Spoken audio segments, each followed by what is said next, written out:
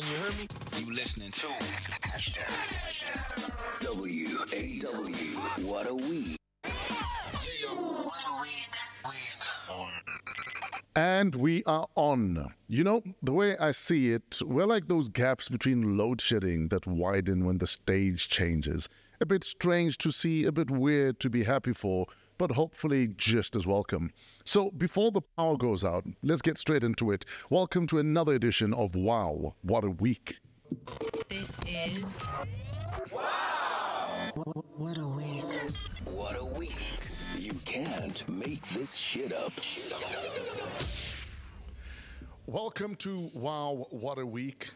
We've been expecting you.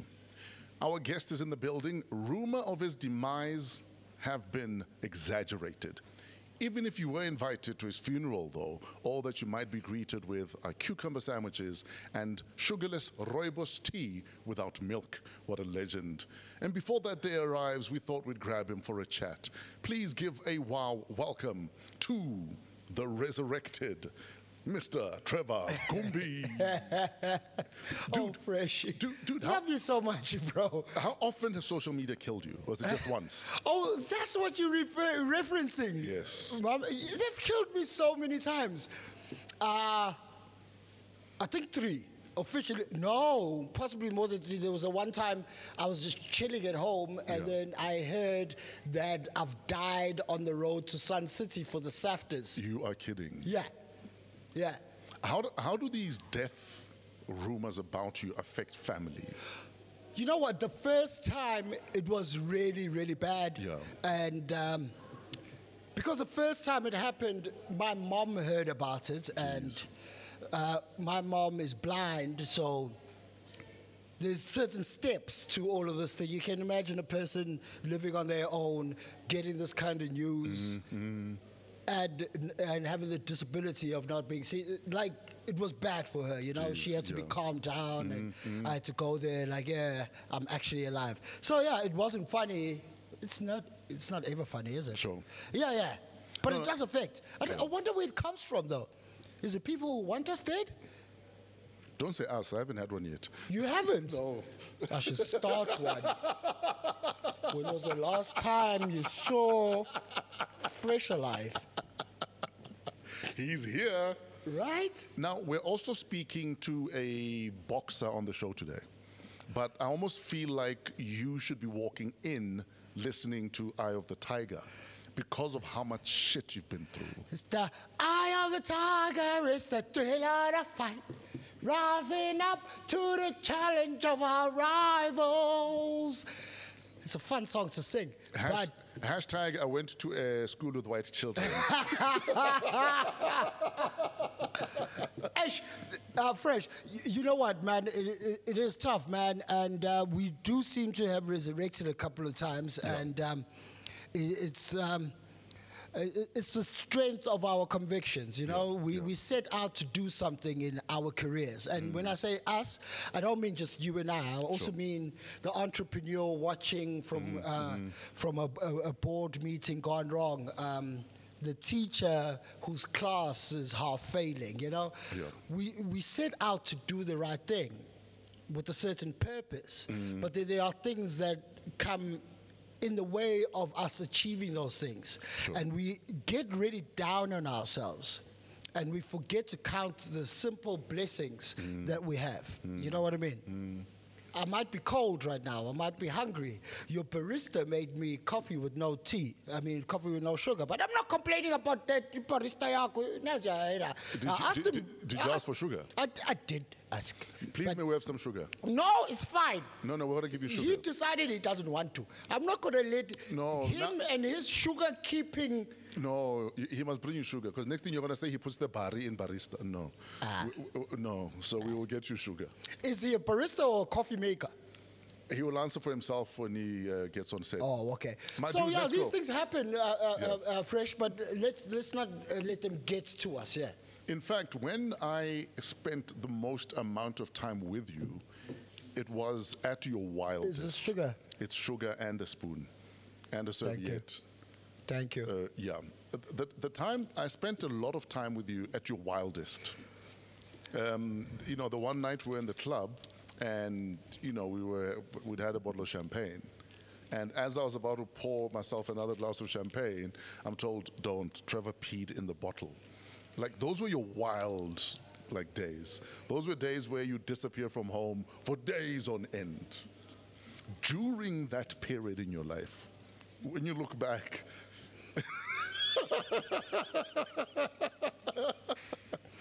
do you ever look back and say, "How did I survive right. myself?" Right. And how did my family survive me during that period? Oh, fresh. Wow. Okay. Okay. The last part of that question Yeah. really hit home. Yeah. Because it was funny when you said, How did I survive all of these things? And I need to correct you. That bottle of champagne, you were only told after you took a swig. So, uh, so. Are you saying I drank your pee? Yeah, yeah. So that's why I'm like, how did I survive that? you know what I mean? um, it's amazing the things we've survived. Sure. It- it's, it's truly amazing. And I really put uh, God on the line. That man was saving me from things on a daily occurrence, and I shouldn't be alive today. It's, it's through the grace of God. Um, I shouldn't have been peeing in uh, Champagne bottles. Champagne bottles, but I've got a. There's reason to the madness. Okay, besides the, the I'll- point I'll- that I I'll- was I'll messed wait, up. I'll wait. It's, it's, I wasn't famous. You were famous, and the only way for me to get to you is by you going to the bouncers and then letting me in. Yeah. If I leave to go pee, then I come back. The bouncers are gonna be like, ah, and then I have to wait for, to get your eye level, eye nod. So is that why you peed in the champagne Yeah, bottle? yeah. But then Yeah. you say, how did I survive that? I did. Don't know how. How did my family survive that? I Yeah. Mm. don't think they did. You know what I mean? Are you still counting the cost of that behavior? Absolutely, bro. Yeah. Absolutely. How? How does it?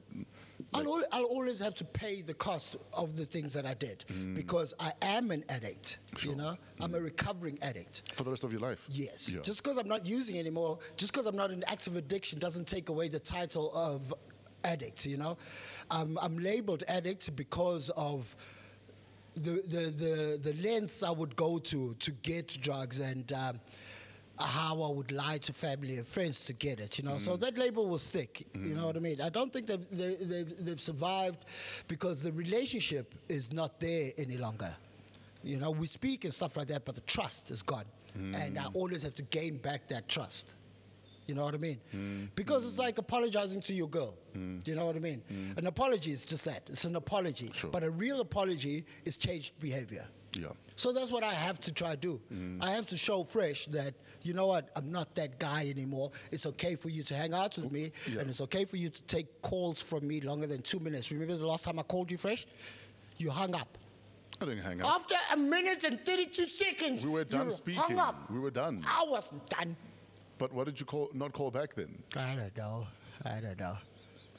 Whatever. No, but like The do. thing I love about you though is that, dude, uh, because now all the memories are coming back. It's like, oh, it's fresh. It's such a big deal. And like I've known you for years, well, known of you for years. You know, when I finally got to meet you, I'm like, whoa, he's massive and he's so tattooed.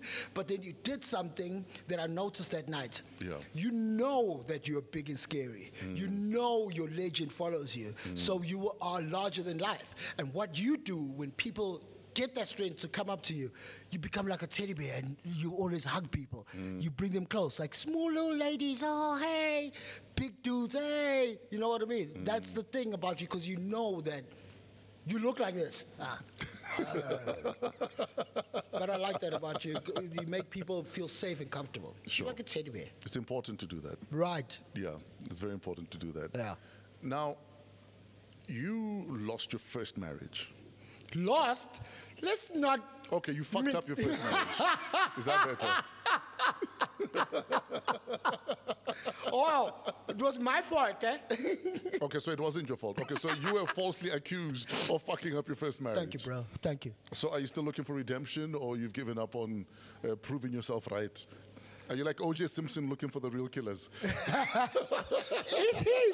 And, whoa, OJ. Damn. Damn. OJ Just because the glove didn't fit. No, OJ's still looking for the real killers. Damn. Exactly. No, no, I take I take full accountability, man. Uh, It does take two to mess something good up, Sure. and it did take more than two to mess this good up on both ends. You know, uh, we ha- we've had to stay friends for the sake of the children, Sure. which is a good thing. But yeah. Uh, Marriage is not, it's an institution, as you know, but it's not the be all and end all. If it's not working, try find your happiness because that's the be all and end all our happiness What compromises did the two of you have to make for the sake of the children? Because often in a divorce, we forget that they're still children, Ah. but we start being the childish ones because we're angry or we're upset or we're hurt, forgetting that these little people are looking to both of us to be fully functional human beings. Absolutely. But because we're trying to rip our, each other apart, that's not in the best interest of the kids. What compromises did the two of you have to make in your co-parenting?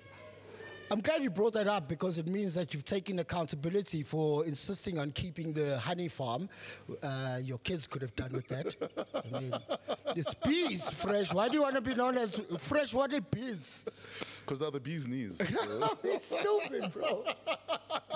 He's stupid. I think the compromises that we've put in place is uh, our pride.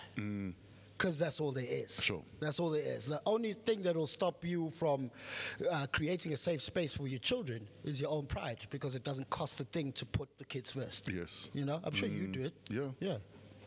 In fact, that's the only reason you must be cordial, if anything. Yeah. Yeah. That you still have these little people to, ac- Exactly. to account to. Exactly. But you're also an open book about your struggles, about your journey. Where's the fine line between it's none of your business and I'm willing to share this? You see, um, I'm an open book because it helps me. It's cathartic for me to speak about the things I've, I've gone through. Yeah. And for me, my comedy is an equation of pain plus time. Oh, yes. So I've had to experience it. I've had to have time to deal with it Yeah. in order for me to speak about it. And the more I speak about it, the different it comes out on stage, and it helps me heal. And hopefully, there's somebody in the audience who also feels the same way. Mm. So I speak about it in those terms. You say, where is the line? Where do you draw the line? Mm. The line can be drawn for me personally Yes, because sir. I speak about things that have happened to me. Mm. When I speak about the hurt I've experienced in relation in my relationship with my ex, I've been told I've been told to remember not to mention her name Oh, yes. because that would be. Uh, maybe it's like on that thing. Come on, man. What were you sued for? Come on. no, no, I think I did the suing. You did the suing for? Was it def- defamation? There, you, you can't even say it. Yeah, see, it's just so I'm so glad you've got lawyers who can No. actually pronounce I- I- defamation I, did and the defamation. and, and, and I won. did you? Anyway, carry Or did on. you win? Oh, well, Money. for them to shut the fuck up. Oh, Yeah. but that's called a protection order. Come on. No, no, there's man. that, but the, the other one is still coming. We're letting them put that guard down, and then we come back again. You see, then uh, 10 past 4. You bomb. Ten past four. Ten minutes after. Uh, uh, what, what, what do when they put the candles up? What? The prayer? Man, people put up candles. What? Med- meditation? I remember. Hopefully, Yes. I remember. But what a life! What a life, fresh. Look at us, standing, still standing, constantly judged. But you haven't answered the question. So- So, you've been advised I've not to mention her name I've answered all- because what? Oh, that was the line that I'm, uh, that I've drawn. Okay. I can't go past that line. Ah, okay. So you can talk about yourself, but don't uh, drag other people into your story. absolutely. Okay. Yes, because it's my lived truth. If I was cheated on, I will speak about what it's like to be cheated on. Mm. But it's unfair for me to say, Utato, wangenza so. Ah, I hear you. You know? I hear you. Yeah. I've So got you- more than one ex. So you, so you leave it legally open, is what you're saying. yeah. Ubani, spoke about who? Finding love again. Let's talk about that. So nice. And and and at what stage do you realize that okay, this is real? And because you're the guy that wears his heart on his sleeve. Right. At what stage do you realize that okay, this is real? I can wear my heart on my sleeve again. Uh-huh. Yeah. When was the time I, Yes, I realized yes. that this is real Because it's been one? three years now, right? Yeah, Yeah. yeah, more than three, just more than three years. I think that when I realized that she was the one Mm-hmm. was when I had nothing and I was broke. Yeah. And Where were you living at that stage? divorce house. Ah. Yeah. okay.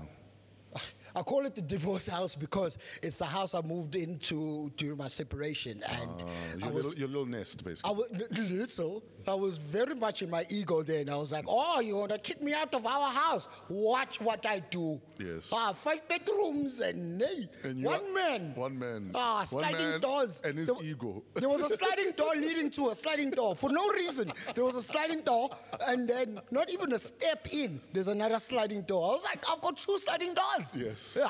You don't have one. Yeah, exactly. How do I get to the sliding door, Trev? Through the one sliding door. And then I turn around, I close the one sliding door, and then I approach the second Yeah, one. and so the point. No, but honestly, it was when I was comfortable not having anything with her, Yeah. and we just sat eating chicken feet. Yeah. I forget what it was. Mm. It was a. I was I was comfortable when I was like, I've got nothing to offer you, Yeah. and she was like, you are everything to offer. At, at your most naked, she still saw you. Yeah, yeah. I not figuratively. Well, th- both. She couldn't avoid the one anyway. I don't know. I can never. or, or, or are you the lights off first kind of guy? I'm, I'm the lights off first kind of guy. I, I don't like my naked body. I mean, it's changing now. Is it because you're a grower, or are you still a show? I'm a grower. oh, okay. So the lights must be off. Yeah, yeah. I don't like to be fully, fully naked. Like, give me uh, something, a plaster on my hand or something, but something must be covered. Yeah. Can't just be. Hey, look. It's like, sorry, baby, I'll show you my nipples later. These Yeah. plasters are here for now. you had uh, some very emotional posts on your social media. Um, When? ago. I think you're in hospital. Um, take us through that. When I was in hospital, no, I think you're talking about when my wife was in Yeah, hospital. that's what I'm talking about. We're, Oh. talk- we're- we're talking about love a second time around. so she hurt herself, broke her fingers, right? I'm at work and uh, I get to her and uh, she's in the hospital. Uh, uh, we'll go back to the story about how she hurt herself, Yes. but it was. Um, I had nothing to post now. Like, uh, like uh, there's no caption. She's in the hospital bed, and I was like, "Oh, my wife. Oh, she's a mom." And I was thinking, "Oh, what if my mom gets hurt?" Then uh, Tupac's "Dear Mama" came on, and it's like, I posted the lyrics to "Dear Mama." And then people are like, oh my God, his wife's on her, her deathbed. I'm like, no, it's Tupac. Come on. Tupac was saying, and oh, newspapers were like, Trevor says farewell to his wife on her deathbed. But, but are you surprised at how people might have interpreted it, though? Yes. Why? I thought everybody knew Tupac's lyrics. Who dear mama? Every year during Mother's Day. Come on. Everyone from Glenn Lewis to Thato will play Dear Mama, and you are telling me you don't know the lyrics. The last time I played Dear Mama for Mother's Day was on Studio Mix in 1999. Yeah, Never- but you've never also not, but you've also not been gainfully employed in a long time. So let's not go there. It's just two years. Oh, Yeah, it's just two years. your savings were enough, doggy. My man. Uh, enough ish. Have you gotten rid of Enough at least one Harley? Uh, yes, I have actually. Wow. Yeah, oh, yeah, sorry. yeah, That's okay. yeah. Sorry. I, I, wasn't- I was joking. I, wasn't riding it, so I had to go anyway. So yeah. so yeah. Too bad. Anyway, so that post was much ado about nothing, is what you're saying? Yeah. What happened was we've got this water feature Yeah. at the house. So you're back at a double door house now. No, we bought a new house uh, Okay. last September. It's uh, yeah, and then so water feature is a fountain. When we got there, it wasn't working, so it's a fuck- it- it's not a water fountain anymore. It's a fountain. Okay, and then my wife's like, "We've got enough water. There's a pool. There's taps. Let's make a fire pit." I was like, "Okay, baby." So she's gone on Pinterest at night in bed looking at all these things Yeah. and thinking about the water fountain, the water feature. So I leave for work in the morning, then she gets busy with the water feature. Mm. She pulls it off. The ball doesn't weigh anything. It's a ball where the water comes out, and then that doesn't weigh anything. So she's like, oh, confident, throws that. But the second level is all concrete.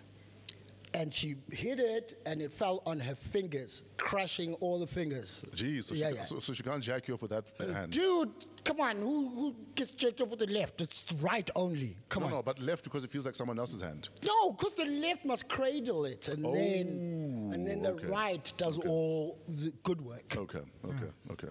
Can't believe I'm teaching fresh how to cradle a penis. Um, then she broke all her fingers. So then she drives herself to the hospital. Yeah.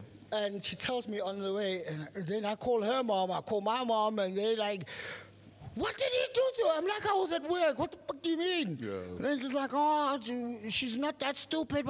I'm like, she is. Are you using again? Funny enough, I never physically hurt anybody. Hmm. Ever. I might start now because I want to start in the UFC now. It's about time I put these ass whippings to work. I want to challenge anybody out there to a UFC fight, bare knuckle fight, just you, me, knees, shins, and ankles. Can can you fight with your ankles? I, I can't fight with my ankles. I made a girl who can take her panties off with her ankles. Hands free. and you married her? No, man, Oh. you don't talk about my wife like that. Fresh. Okay, I'll keep your wife out of my mouth. Yeah, keep my wife out of your mouth and I'll keep this out of your mouth. Stupid, bro. This is so much fun hanging out. This is nice. In fact, speaking of using again, I mean, you, you talk. No, thanks. No, no, you No. talk. You, you talk about the fact that you know, as an, an addict, even when you've stopped using, you're an addict until you die, because there's triggers everywhere. There's tequila shots. There's this. There's that. There's guys using next to you sometimes. On a scale of one to ten, how difficult is it not to jump back in? Because you work in an industry where people use. Difficult? Yeah. Uh, uh, uh, from zero to 10. Yes. 10 being the, the most difficult. Yes, yeah. Zero. So you're done, done, done. I'm done, done, bec- not because there are no urges Yes. Mm. to use and no triggers there. I just know why I don't. I don't because of my loved ones. Ah. Oh, yes. I'm still working on a relationship with my siblings and my mother, and I've got a good relationship with my wife. And, I, and I've got a good relationship with all my children, Mm. those that I know of. And um, it's going well, and I don't want to jeopardize that. Ah. So that's the reason I don't. So I'm happy not using. Okay, so you're at a stage where you've run out of I'm sorries because now it's changed behavior that matters. Ah, top. I've run out of my sorries. Yes. That's very cool. You've used them up. Yeah. And, and often a sorry becomes a crutch. That's where you run to when you fucked up, as opposed to, I'm not going to apologize. I want to show you that I've changed. I'm want to Ah. show you that things are So different. it's easier just to run and say, oh, I'm sorry. You know me. A lot of us do that. We think, uh, I'm sorry, we'll fix it. No. When all this person is asking for is, "C- can you act differently? Can you be different? Can you show me you're sorry? Don't tell me. To the people who've harmed you, Yeah. I'm not talking about physical. There's nobody who can possibly harm you physically. What what will it take mm-hmm. for you to forgive them? Hundred percent forgive. Your name has been dragged through the mud. Mm. You've dra- been dragged through courts. Mm. You've been dragged through the public court of opinion. Mm. What will it take for you to forgive your accuser and stop trying to s- gag her? Say, speak your story, true or not, but it's not gonna affect me. What's it gonna take? Uh, for me to forgive anyone, it has to be not necessarily an apology, but an acceptance of the fact that you lied or you were wrong. Oh. Yes. Uh, otherwise, I'm petty as fuck. You know, a person knows that they're lying, right? Uh, yes. unless, unless it's a. No, no, they, they know they're lying, but also, it- but also, if you can prove they are lying because you've got evidence of where you were when they say you were at a certain place, Ah. you see, Ah. then therein is the difference. Have you forgiven? I have forgiven. Who's interviewing here? Here, like whose show? No, no, this? it's important to know because I look up to you. Yeah. You- and and most of Africa, In fact, it's, it's not even about a forgiven. I feel sorry for anyone that feels they need, whether it's for attention or for whatever else, or because they were being, um, you know, hot air was being blown up your skirt and being told, don't worry, we support you, we support you, therefore you can maintain this uh, charade uh, or this lie. Um, I feel sorry for people like that. So I pray for people like that, that they find peace. Because clearly you don't have peace if you feel that's something that you need to do or that's something that gives you some sort of satisfaction. So for me, it's not even about the, the, whether I forgive you or not. Right? Yeah, and it's not about, and it's not even about whether or not I am going to seek the justice I deserve, because that I will. You know, that I will. You know what I mean? But um, so for you, uh, to sum it, uh, sorry, to get it right, Yeah. for you, Yeah. it's not about being sorry, uh, uh, lying or not. Hmm. For you, the thing is, you must prove yourself that the accusation is totally unfounded. I think to a certain extent, sometimes that's all you have left to do. That's all You've all. lost enough. sometimes that's all you can do for yourself or for Ah. your loved ones, for instance. You know what I mean? So, for instance, for my loved ones, I even did a polygraph test to Oh, show my. that to show that this is actually all bullshit. Oh my! E- exactly. You know what I mean? But obviously, you can't say I've done a polygraph test, therefore. People don't give a fuck about that. So I did it for myself. Ah. And also just because maybe you don't remember. I don't know. But like I said, we sometimes you go to certain extents. You've gone to lengths then. Yes, yes. No, no, It's not yeah. easy polygraph. You can't just walk out and be like, "Can polygraph." Exactly. And then, uh, exactly. okay. So, so three, gotta. No. uh, after the yogurt lady there and the empty cassette guy, no, no, no. So you, so, so, so You for me, old, dog. So, so for me, empty cassette. empty cassette. We were going so well here. You said frozen yogurt. I'm like, okay, he's hip to the new desserts. Then you said empty cassette. I was like, mm, I'm Dude, dealing with an old guy here. we're down the road from Small Street. I, uh, I'm sure there's a guy still selling empty cassettes there. Anyway, this isn't an interview of me. We're still talking about you. You were saying. about You were answering the question. Oh, wow. this is a very strange ornament to have on the table. Do you know that every single comedian has a problem with my piece of art? Oh yeah? And it's a piece of art. How? What do you mean, how? Look What- at it. Look at the detail. Look at the intricate attention to detail and what's been paid to this thing. If there was intricate uh, attention to detail, it would look like a real car with real people. It looks like somebody with all four major signs of retardation created this. So does this look like Rasta was given? Whoa! No, I'm not saying that. I'm not saying that. Are you saying this looks like Rasta was given clay? yeah. Wow. And please don't get me wrong, everyone watching, uh, disabled people. And- um, and- and we uh, we- and we don't- disabled people are very capable of creating art. I mean, look at PH. Oh wow. He's the most successful Down syndrome DJ there is. Oh wow. And I love what he's done with his condition. Oh wow. Yo, Pindi, I love you, my dude. Oh, PH stands for Pindi. Oh wow. Oh, PH, oh, Let's let's let's bring it back PH home. stands Pindi. you know, Wait, carry on. Are, are you calling him? I'm to PH. Oh wow. Put him on speaker. Put him on Hey, speaker. son, a time. My man.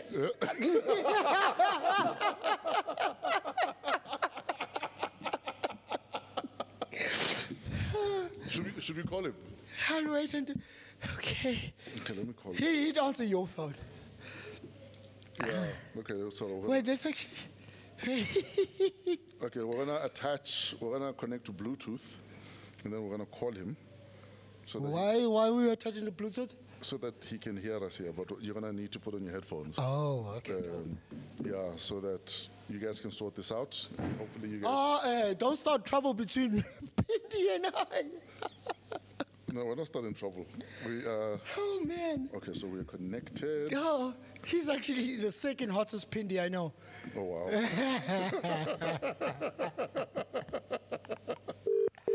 Upindi Kuala is the first one, and they shape the same from the waist down.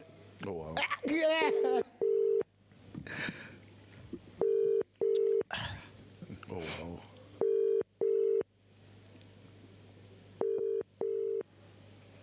Why is he not answering? Unless he thinks, I owe, eh, maybe he thinks I owe him money. Now, this is a sign of a successful DJ. Yo, I'm washing my teeth. I'll call you right now. You're brushing your sheesh. My man, my, hold on, hold on. Uh, I'm with Tr- I'm with Trevor Gumbi here on the podcast. Hey, Tara Shamkujan. Yo, what's good? No, I'm very good, man. It sounds like you're brushing your teeth with KFC gravy, but it's good. Um, that, that's some thick ass toothpaste. I'm on the pod. I'm on the podcast here with Thato. Uh, it's, it's fantastic, and I just wanted to shout out that uh, I think it's amazing what you've done with your career, given the fact that you have Down syndrome and you've been living with Down Down syndrome for so long. What you've done with your career is totally amazing, and.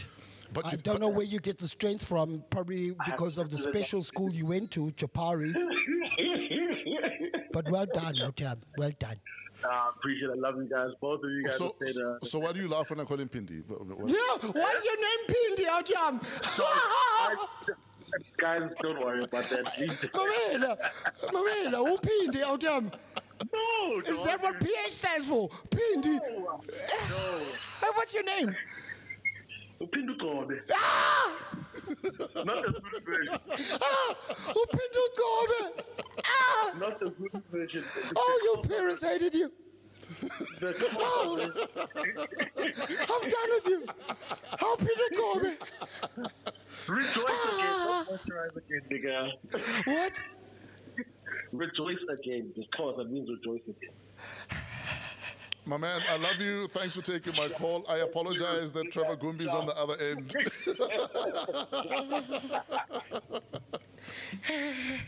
Are you done? Peter Gobe. Now you've just ru- ruined my relationship with PH. No, he'll be fine. Sorry, I don't. He'll be fine. Oh, Oh, it's amazing. I can't do this. Oh, it's amazing. There's a lot of shit happening in the country. Yeah? Uh, load shedding, a Russian ship, we must arrest Putin. What are some of the things that are blowing your mind, either this week or generally in the country right now? Oh man, um, some of the things that are blowing my mind is fine. Every country in the world has problems, okay, yeah. and we have quite a lot of problems, Sure. okay, and our problems have affected us so much. Like we don't know life without the problems of load shedding and now water. What has surprised me Yeah, is not all of the wrong happening. sure. My, my surprise comes with us, all of us, citizens, not doing anything mm. about it. Why are we not in the streets? Why are we not marching to the union buildings? Well, I'll take an Uber, but I, I would be there.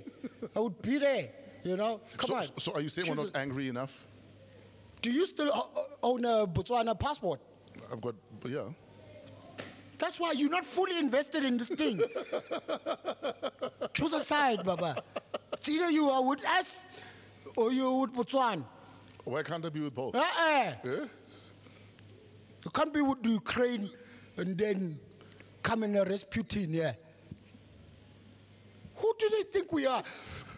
Name one cop who can get close to Putin. One cop. Sergeant Kukubeli. Sergeant blow, blow affair, anyone. They can't. Come on, guy. Come on. Mm-mm. So, so what would you rather people do then? For, for instance, uh, just this week, uh, President Ramaphosa is in Hammanskraal. Uh, you know, chances are he's going to get there and say he's surprised or he's shocked because he's Maki. He's always surprised. Right. You know what I mean? Uh, What would you rather people do then? If we're not rioting in mass and, and uh, But what happened to just vote differently then? Yeah, Where- that's what where- I'm where- getting to. do, you- do you mind letting me I speak? apologize. I apologize. Wow. Get that out, Jan. Sorry. if we are not uh, going to make things uncomfortable for our uh, for our leadership, Mm. And when I say make it uncomfortable for them, I don't mean blocking the streets to people who are trying to go to work. Sure. Blocking their routes to work, making it impossible for them to enjoy the comforts of their houses with uninterrupted electricity. Do something that affects them and not your fellow citizen Isn't that voting? that then all we can do is vote differently. But who do you vote for? Hey, Why don't you stand? Why don't Why I don't you stand? run? Why don't you run? Yeah. it's gonna vote for me. Come on, dog. Dude, the Cope got two seats. I'm sure you could get one. Aye. I've given up, Papa. When I was presenting friends like these after DJ Smooth, mm. I had so many catchphrases that I tried to get people to follow. Not a single catchphrase. Like which one? Like which one? Uh, Uh, uh, oh, I used to come out of the wings, show is starting. Yeah. I come out to the applause, I'm like, Achu! And the audience was supposed to go, Pes Gwenye. I thought it was brilliant. So I come out, Achu, Pes Gwenye. Uh, and it was lovely then. And then I come to a, to a bride and I go, Achu! Uh, I bless you. Nobody wants to follow my trends. Maybe have a manifesto and not trends. Then people might follow that. Tell me what you're going to do differently. Tell me how you're going to make my life easier. Instead of going achu, achu, and then what? Achu, mama way, what? Eh? But you are the generation that came before us that should be doing it. I mean, abontanga bakho nangu Trumpis is in parliament. Follow him. How many kicks do you have with that man? Come on. So it's a good start that Utrompis has finally made it into parliament. Uh, shout out Eugene, shout out EFF. So you're next. Politics. No. I might open a church. Oh yeah, it's easier money, and you get not to- Untaxed. and you get not to go to hell. Touch wood. Uh, I don't know. I don't know. The, the, the Church of Gumbi. Okay, maybe there's something that we're not seeing, okay? Yeah. Because I doubt that these people are imbeciles, the people who are, who are in power. Maybe there's something that we are not seeing. What are their difficulties? We've never really had like a, uh, a job appraisal of Yeah. these people. We know what targets they're not meeting, No, but- but what are their frustrations in the office? Yeah, but Mr. President, remember, had said that there would be uh, deliverables uh, upon which they'll be judged. But we're still waiting for that. Where did he say this? Did he not say one of his first uh, speeches in Parliament The one where that ministers would be held to account? I don't know. I, And we're, still, I- and we're still waiting for that. but we're not the worst. Also, it's one of those, or at least, Tina, we've got this. Yes, yes, yes, it is, it is. Because, because, because, because, uh, uh, fresh, sorry. Um, uh, I've been going through some things in my life uh, where it's uncomfortable and it's, it's, it's, it's a space I don't like being in. Sure. And when I speak about it to my friends, my friends are like, hey, you know, it's not only you. There's so mm. many other people going through difficult times. Sure. You know? And then I say angrily to them, I don't, it doesn't make me feel better knowing that Thato is also going through a tough time. That doesn't make me feel better knowing mm. that Trevor is not reaching whatnot, whatnot. You know? Mm-hmm. And then, then they're like, but what else can we do? Sure. You know? We're all in this. We're not in this together because I'm thinking, hey, I'm, So, so I'm, we're settling. So we must settle then. I'm- is what you're saying. How am I going to settle, dog? It's like I'm going through stuff. I tell Thato, then Thato's like, "Oh, shame. I feel bad," and gets into his RS3 and drives off. And then I'm waiting for my my Uber here. Your Uber's going to cost you 100 bu- uh, bucks. My RS3 is going to cost me 10,000 rand a month. So you're actually better off. Yeah, but you have the ten thousand. But maybe I don't, you see. Stop playing with my But- emotions. But, but you don't know that I have it. You assume I have it. You don't know that I'm not asking for Peter to give me the money so I can pay Paul uh, the 10,000 for the RS3. you know how I know? But you, you know how I know that you do ask Peter and Paul? Yeah. Rosar. But Because in St. Peter, you do little prayer. Then you St. Paul, little prayer. St. Mary. but you've got the 100 rand now to take the Uber.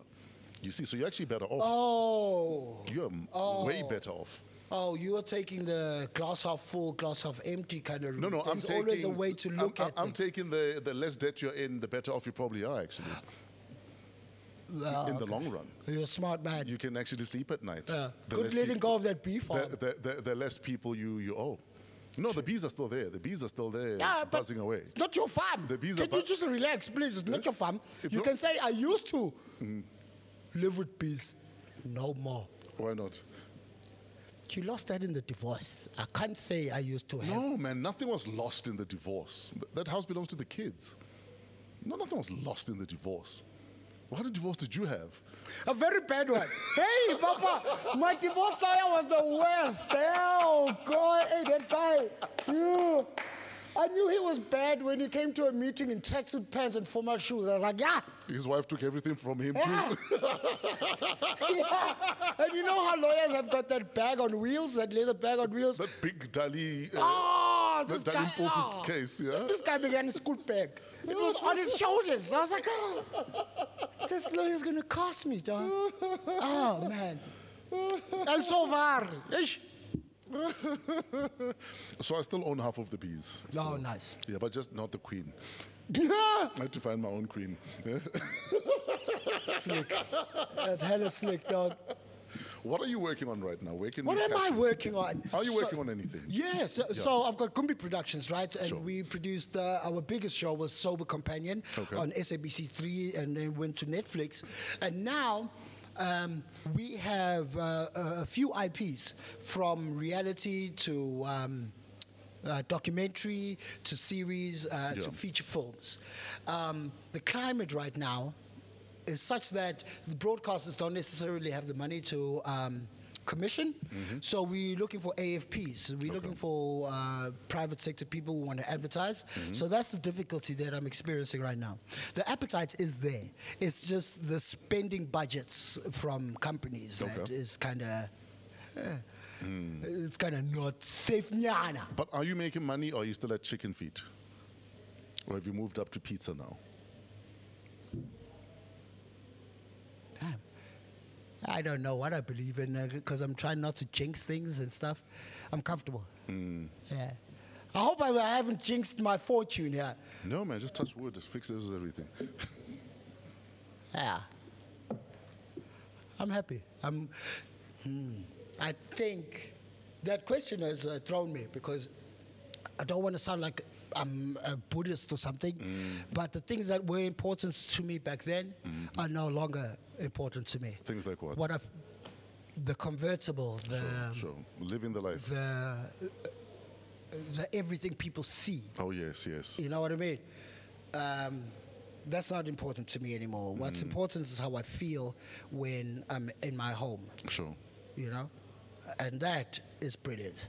I'm very happy. I've got a beautiful wife. I've got respectful kids, and I've got a beautiful home. That's all that matters. That uh, Fresh saw me pull up in my convertible Aston. It's neither here nor there. You know I own an Aston, but I don't need to show you. And even if you it. don't know I own it, so what? Exactly. And even if you don't see it, so what? Yeah, material things are not. You know. I'm actually planning my great escape. And my great escape is moving uh, somewhere and live off the grid. No water bill, no electricity bill, and no one knowing my address. The only thing standing in my way down is my kids to finish the seventh grade. I've got two more kids mm. to pass seventh grade. After that, they're on their own, though. Jeez, I must go out there and make a plan. 13, Yeah, check. yeah. 13, check. When your great grandparents were 13, they were hunting out there. Exa- life expectancy was 12. grandfather, grandfather of 17 Yeah. died at the age of 11. Yeah. what? Why did I imagine Alfred Dombele as the grandfather? I'm, I'm so sorry. Yeah, but you can't take him hunting because he'll laugh while you're hiding from the lion. When you're all dead, like you can't take Alvin Dombele anyway. Anyway, what would you like to be your legacy when people look back? That Trevor Gumbi, that guy, that. What do you think that'll be? Wait, are you, are you going to pay for my parking? Because I didn't bring any coins. Uh, we'll pay for your parking. Thanks. My legacy, I think I would like to leave.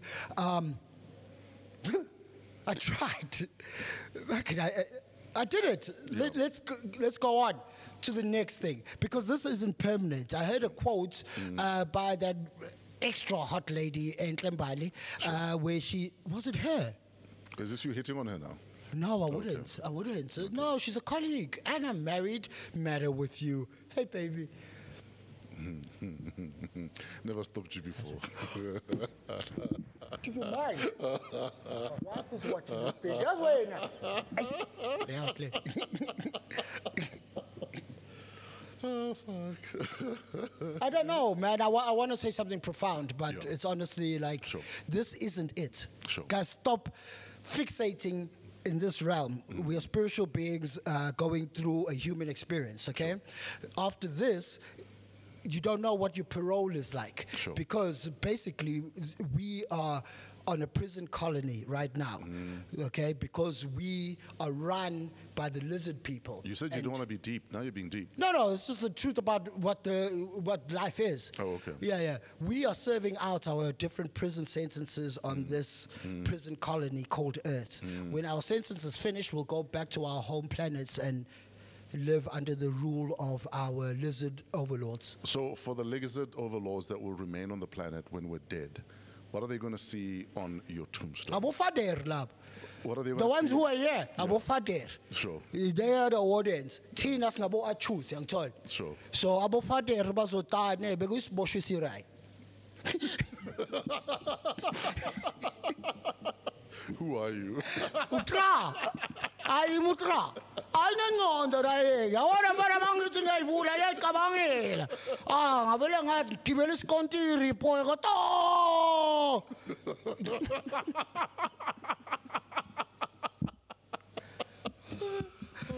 and your people made me sit on a pillow because my ass is flat. Ah, that's body shaming.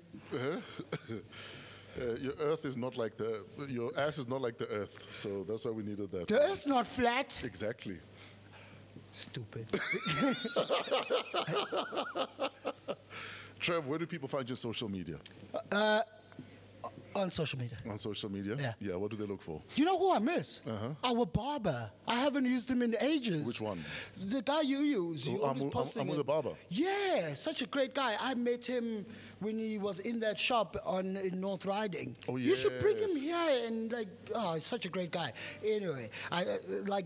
That's the one person I regret cheating on. Anyway, you can find me on Twitter, Facebook, Instagram. Uber. Which one? But you know, TikTok, uh, Oh, TikTok, it's yes. all at Trevor Kump. All right. Trevor, man, thank you so much for hanging out with us. This is. What, what a week. What a week. This kid. Really kicks. Welcome to the section of the show where we shout out Africans doing great things. There's a saying that when you put your kid's gloves on, you're being gentle. Well, when our next kid puts his gloves on, he's anything but gentle. He's still a nice guy, though, which is why we'd like to give a warm welcome to the WBA Pan African Middleweight, the African Boxing Union Junior Middleweight, and the IBO World Junior Middleweight Champion of the world. The champ is here. Let's get ready to rumble. Please make some noise for Roarke Knapp. Brother. Thank you so much for having me. It's a pleasure to be here. Legend has it that your surname is Knapp because most of your victories had guys taking a nap. Is that true? Listen, it's funny. It's a funny story actually that I always get that. I always get that said um, whenever I fight. Yeah. have people coming to me, "Hey, it's nap time, eh? Yeah. I got you. Don't worry, I got you." So you're onto something there. Roarke Knapp. That's an interesting name. Tell us about your name. So I was actually named after the battlefield of Rorke's Drift, where the English and the Zulu fought. A lot of people think that I was named after Mickey Rourke. Yes, yes, yes. I say that just to make it easier for people to understand. Not everybody knows the origination of. Yes, yes, yes. So that's quite a cool story to tell. And then do you know why they named you after the Battle of uh, Rorke's Drift? Um, I actually don't even know. Um, maybe a translation to what I do for a living. You know, with the battle and the war and stuff. Quite a quite a cool connection there. Absolutely. Um, my dad's actually English, so maybe that's why. My mom's South African. I don't know. so, so, so it was a bittersweet name for him then. yes, pretty much. Yeah, Roarke 101. Where are you from? Who are you? I'm just a typical kid from from Edenvale, Yes. 1610. Um, born and raised there. Lived there most of my life. Um, been back and forth between the UK and South Africa. Yeah.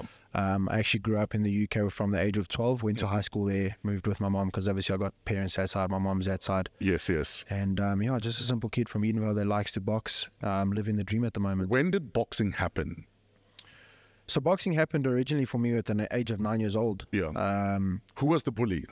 It's funny you say that. That's exactly how I started. Yeah, I got bullied and picked on badly as a kid. Yes. Um, prime bully victim, freckles, buck teeth, big ears, small, scrawny, intimidated kid. So I got bullied um, by many, many people, many people. And um, yeah, my dad saw this at, at, at one stage and saw that I did nothing and took me to the local boxing gym. Quite odd from getting picked on at school Mm-hmm. uh, and getting, you know, punched and kicked and whatever, and then to a boxing gym where I got punched in the face and, you know, to a degree bullied there also until I got better at it. Yes. And um, yeah, that was that was my first stint with boxing. It wasn't anything serious, just learned how to defend myself, and that's how the start that that bug bit. There, there's a kid that uh, used to bully me when I was in grade. In fact, I was in Krish. Um, I was four years old, so they used to steal my lunch. So whenever we got into the, the school bus, um, these kids would steal my lunch. They were in grade one or grade two. Yeah. And for me, the payback was giving him a gig to take pictures at my daughter's uh, party. Wow. Um, because he used to bully me, but I was like, I'm going to pay you though. I'm gonna show you. I- I'm gonna pay you. Yeah. For me, uh, you know, I'm still upset about it because I loved food. Like, how dare you take As, food? yeah, I, I second you on that. Have you ever met any of your bullies from uh, back when you were a kid? I have, Yeah. but I don't. I think they did recognize me, but they pretended not to recognize me.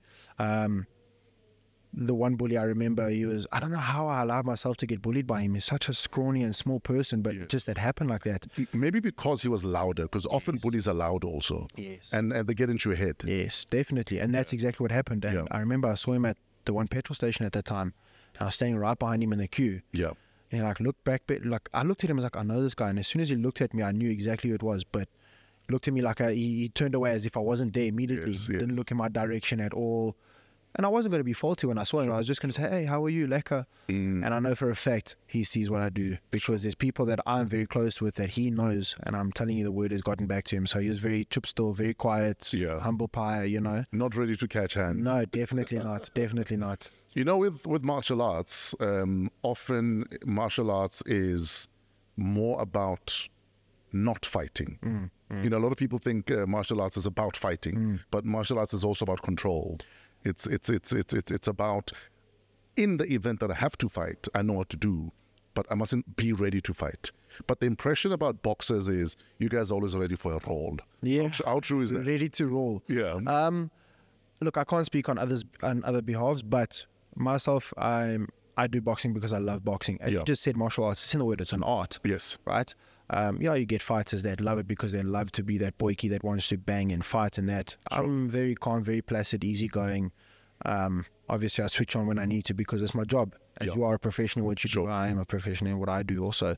And again, I can't be ready to roll all the time Sure. because of the repercussions. But it helps to be able to stand your own if you need to. Definitely, definitely. And and the thing is, it's like when when you have such a skill set and Yeah. you have put in so much time learning that, there's a responsibility that goes with it. Yeah, because your hands are, are weapons now. But that's exactly what they say. So you have to be very careful. And, and again, boxing doesn't make me. I make boxing. Sure. I am completely separate human being than what I am to the to the boxing ring and Yeah. what I do. So Sure.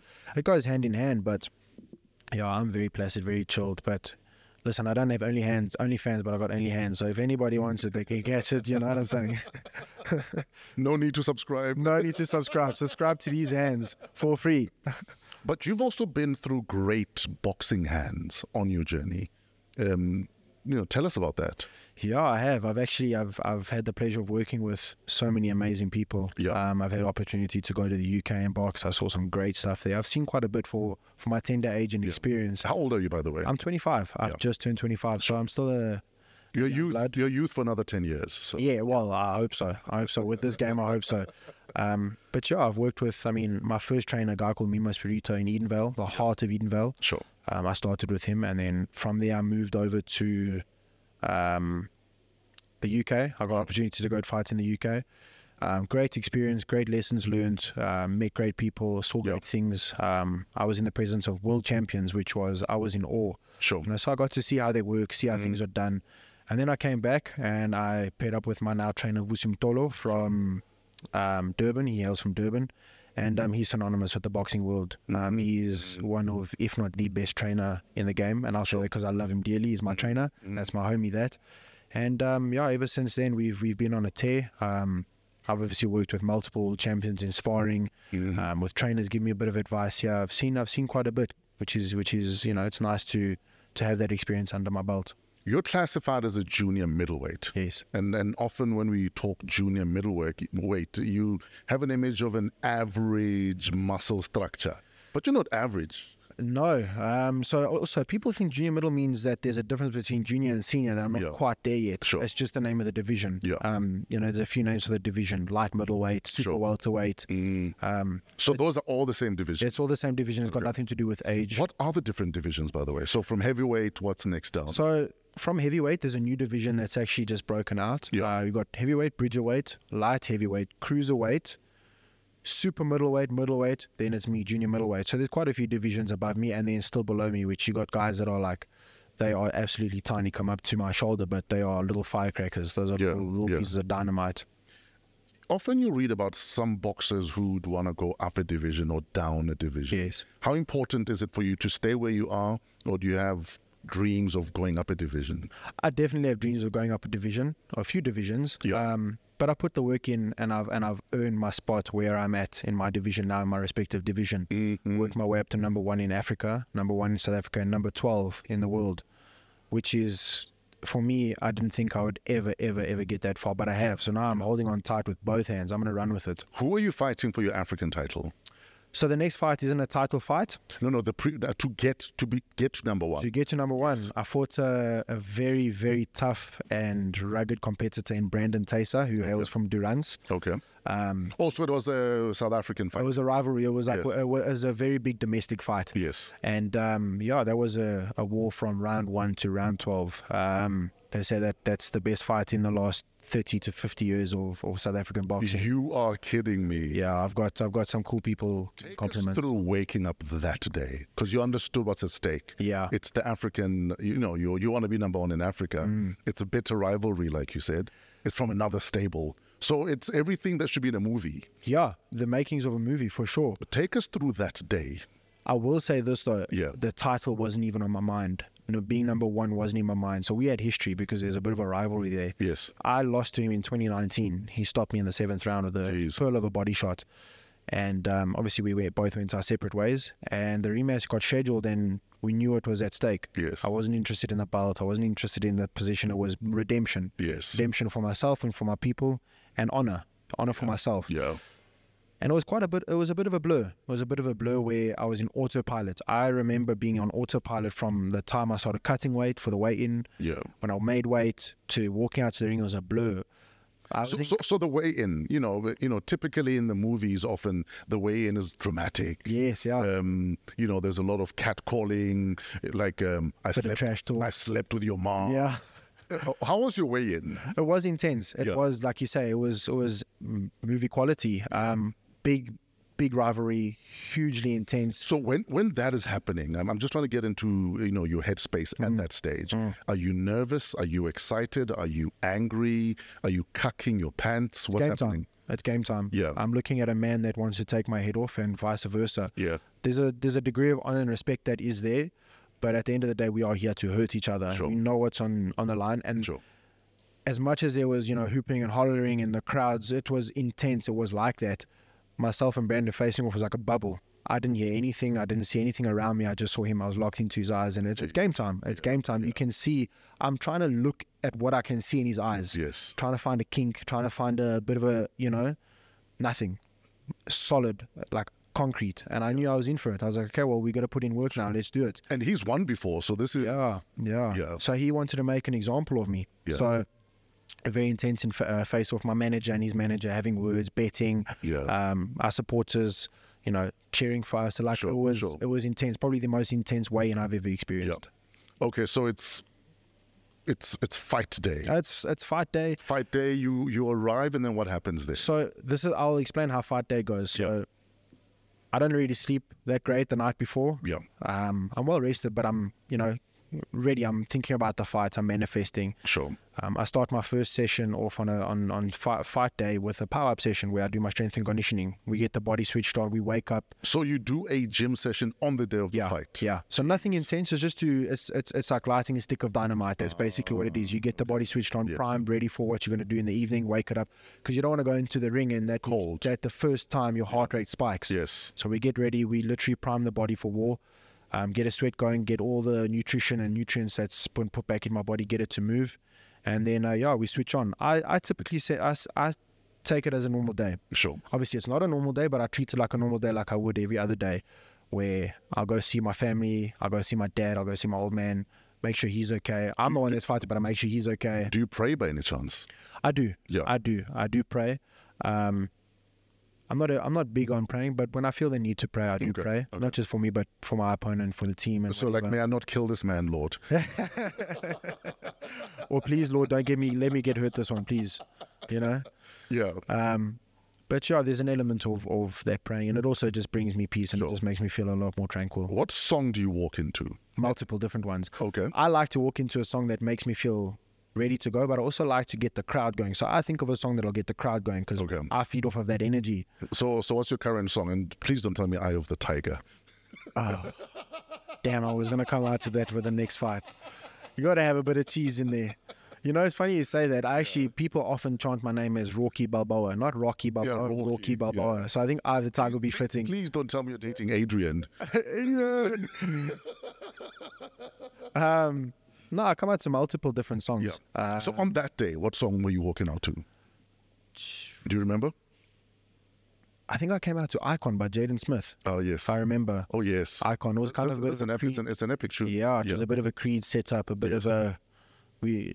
This is who I am. Yes. Do not forget it. I'm Yeah, going to show you. yeah. I'm here to remind you of who I am. Sure. And I remember the crowd was when I was walking to the ring. I remember the crowd was even singing it. I was like, "That's what I wanted this for. That's what I." So I, f- I fed off of that energy, and uh, yeah, we went to work. I almost got stopped in the first round. Even he hit me with a beautiful perla overhand right. Um, he disguised it beautifully. What to the face? Yeah, Jeez. on the button, on the button. Um, I thought he was going to go downstairs to the body, and you could see in the slow motion I braced for it. Also, you got ready for I the body shot. for it, and then at the last second he came over the top, and I ate it. And the last time you lost to him was to a body shot. Body shot. So So I was, So you're ready for body shots. I was awake for that body shot. Switched it up, came over the top with a perla on the chin, and shook me to my boots. Fell on the ropes. The ropes kept me up. Sat in my guard while he offloaded on me, and then obviously I got my composure together, and then I started pressing him forward. yeah. and um, his trainer that they knew that I would do that, and that that set the tone of the fight. The minute he let that big right hand go, that set the tone of the fight. Then it was a carnage from round one up until the twelfth and final round. It was it was mayhem. So before the judges read the scores out, what were the crowd feeling about that fight? This was the most intense feeling and and atmosphere I've ever experienced as a fighter. I've been fighting at Emperors Palace and on Super Sport and Golden Gloves for a few years now. And every round ended, the crowd got louder and louder and louder. Yeah. Obviously, separation between his fans and my fans. Yes. And with the organization that we fought for, the ABU title, the African Boxing Union title, um, every four rounds they call out the scorecards. So they tell you who's ahead. Oh, what- Yeah. So like no pressure. Exactly. and I remember distinctly knowing that going to the fight that that was one of the things I needed to remember. So as soon as I would hear that intercom go, I would let something go. I'd give him something to deal with so he couldn't hear it. Yes. You know what I'm saying? Because I don't want him to hear it and think, okay, he's good and get the momentum. Oh yes. And as I say, the fight broke out and it just got even more intense and more intense. And the crowd was just every round, the whole arena was on their feet. People were jumping on tables, going crazy. It was it was nuts So it was another day in Edenvale.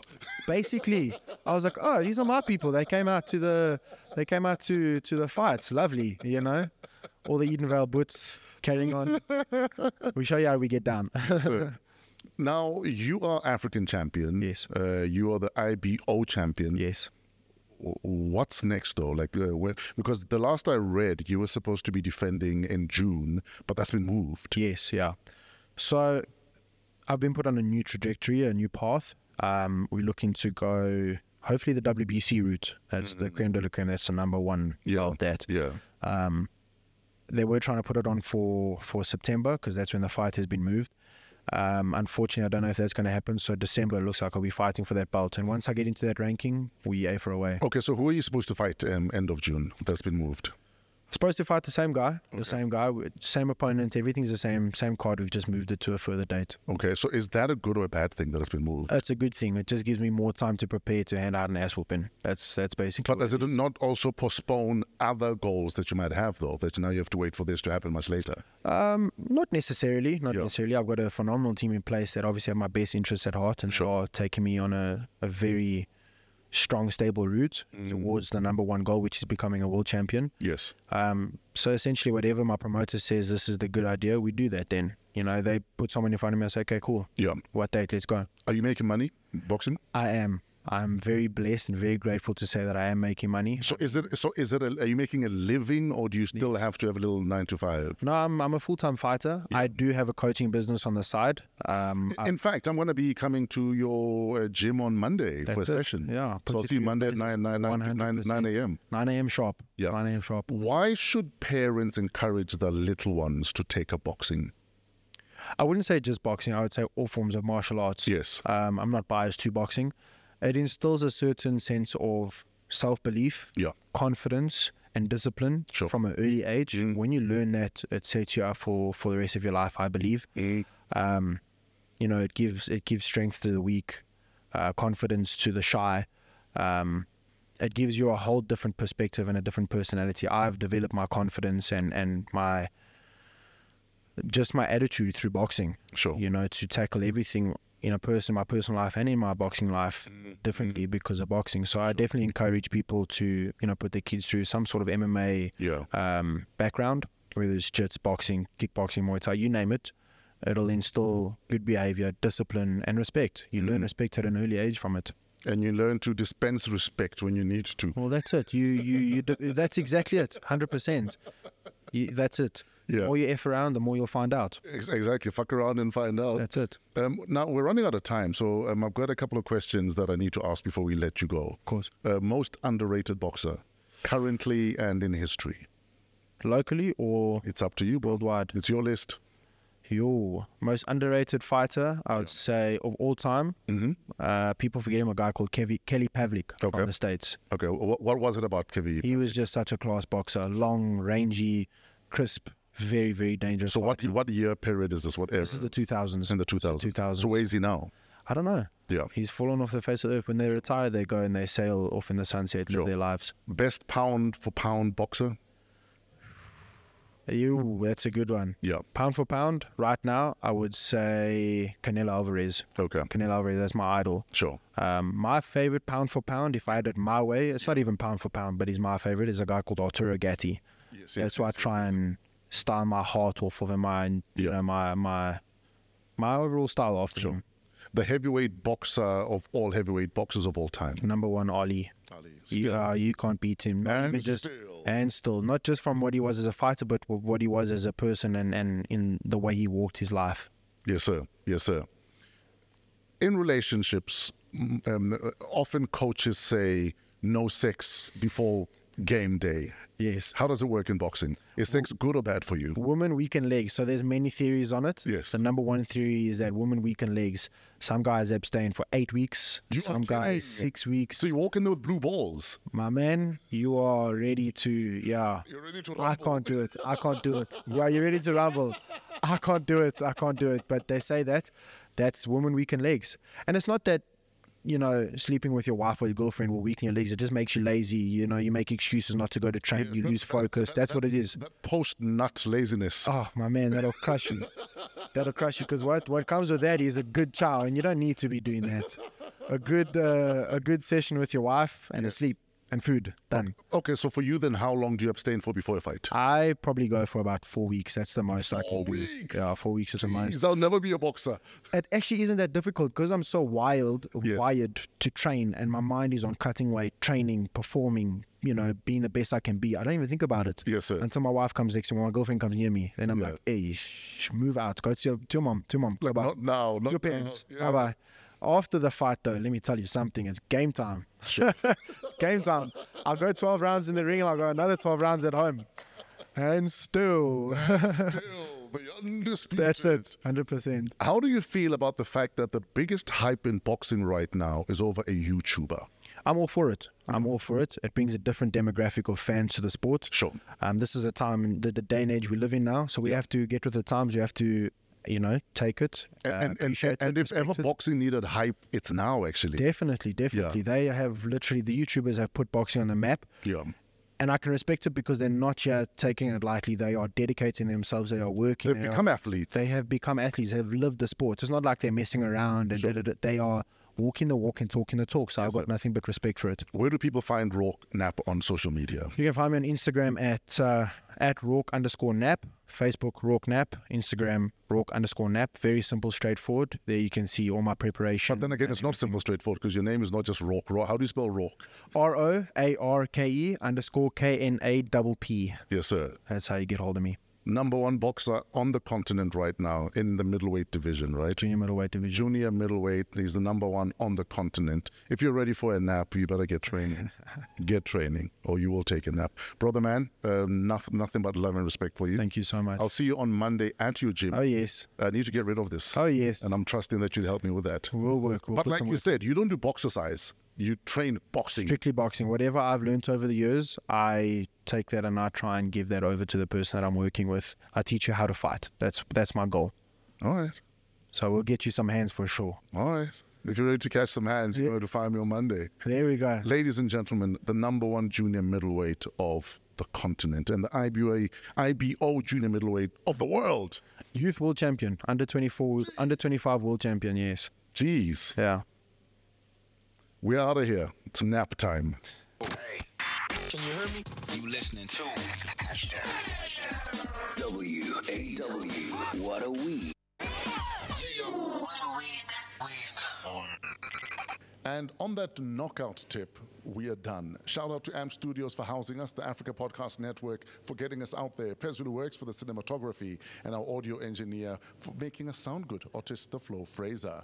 Our guest today, Roarke Knapp and comedian Trevor Gumbi, creative director Krivesh Mohan, and show producer Kelezo Mudisa King. Email us at waw at africapodcastnetwork.com. Have a great week in spite of yourselves. Can you hear me? You listening to? W-A-W. What a week.